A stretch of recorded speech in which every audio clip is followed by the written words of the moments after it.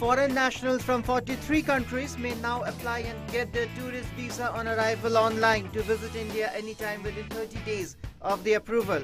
The electronic travel authorization, which will be in form of an email received by the tourist from the Indian authorities, will entitle the prospective tourist to a 30-day stay in India.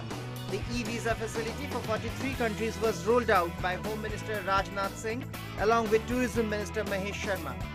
The software for the system is now ready and would be operational at international airports in Delhi, Mumbai, Chennai, Kolkata, Hyderabad, Bangalore, Kochi, Thiruvananthapuram and Goa.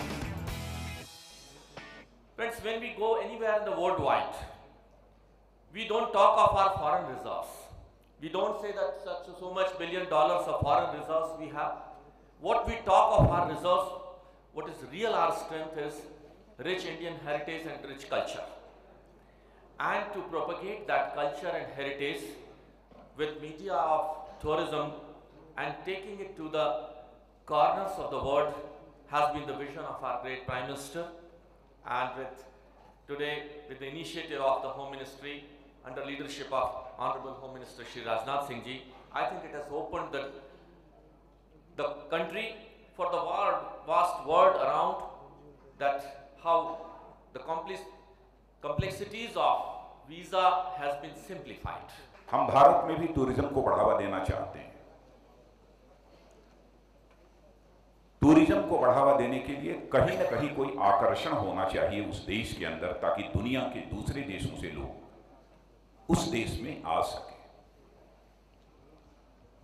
हमसे यदि कोई पूछे कि भारत के पास वो क्या आकर्षण है कि दुनिया के सारे देश के लोग टूरिज़्म के पर्पज से यहाँ पर आएँगे। तो मैं कह सकता हूँ कि यदि वर्ल्ड की इमर्जिंग इकोनॉमी कहीं की है तो हमारी भारत की है। टूरिज़्म को विकसित करने के लिए जो अब तक का सिस्टम था मैनुअल सिस्टम था कि बाहर से जो भी यहाँ पर पर्यटक आते थे तो उनको जो एथराइजेशन लेटर वो मिलता था वो, सारा वो सिस्टम मैनुअल था एयरपोर्ट पर में काफ़ी देर होती थी। इसलिए क्यों ना आईटी बेस्ड सिस्टम यहाँ पर इवॉल्व किया जाए और एक इलेक्ट्रॉनिक ट्रैवल उनको इलेक्ट्रॉनिक टूर एथराइजेशन उनको क्यों नहीं Countries like Russia, Brazil, Germany, Thailand, UAE, Ukraine, Jordan, Norway, and Mauritius are among the countries. Those will be getting the e-visa facility in the first phase. Even Mexico, Kenya, and Fiji are also being considered for being given the e-visa facility. Thank you.